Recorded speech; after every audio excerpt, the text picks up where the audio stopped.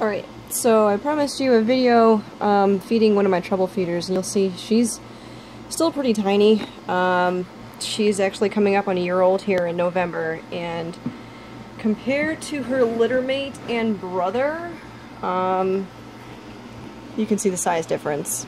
He's easily twice her size. Now, he's been eating since day three of being born. I do not wait until they shed to start feeding. Um, a lot of them will start eating after three days of being born, and that was the case with pretty much this entire litter except for her. Um, she is by far like the most problematic feeder that I've had. I've had to force feed her on more than one occasion, um, but I'm going to show you how I do this. Um, that works too. Basically, I I am giving her a fuzzy. This is frozen thawed.